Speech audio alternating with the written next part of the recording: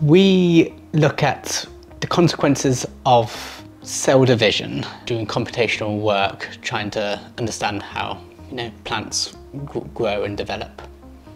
Do they place it that direction, that direction? Do they divide to create a certain cell shape?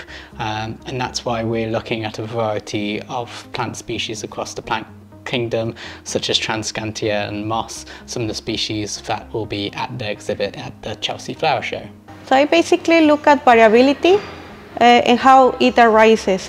At any, in this climate change uh, scenario, when we don't know if it's going to be flood, drought, freezing, uh, we maintain a population that can still feed humans.